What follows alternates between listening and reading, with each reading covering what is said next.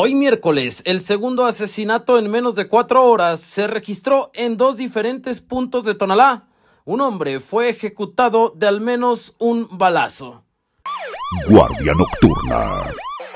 Fue aproximadamente a las 5 de la tarde de este miércoles cuando varios vecinos de la colonia Horizontes de Tlaquepaque, en Tonalá, fueron testigos de cómo un hombre corría desesperado entre montículos de ladrillos. Sin embargo, de repente se desvaneció.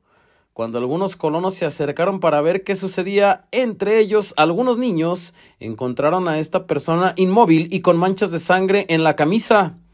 Los reportes no se hicieron esperar en las líneas de emergencias y hasta el sitio acudieron paramédicos de Cruz Verde. Sin embargo, solo fue para confirmar que este hombre de aproximadamente 30 años de edad ya no contaba con signos vitales y más tarde la comisaría de Tlaquepaque, que fungió como primer respondiente, informó que presentaba al menos un impacto de bala en el abdomen.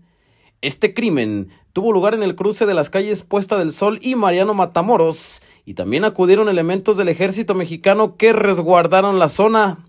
De él o los causantes no se obtuvo información alguna, ni hubo testigos que pudieran dar más datos a las autoridades.